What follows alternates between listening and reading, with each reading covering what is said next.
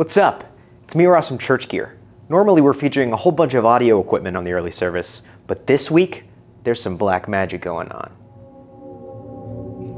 You know, as an audio guy, you don't really realize how much power video gives you. Like, we could go to space. we, or we could go to the jungle. Oh, it's the jungle. Yo, Nathan, genuinely, come on, man. How does it feel that that you're on camera, man?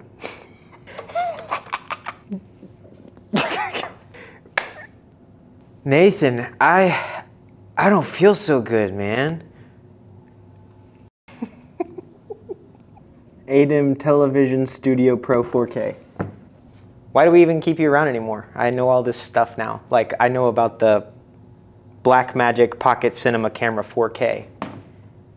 I'm not even gonna lie to you, this was really fun to mess with and try out. So check this out on the early service if you sign up at churchgear.com. And that's all, folks.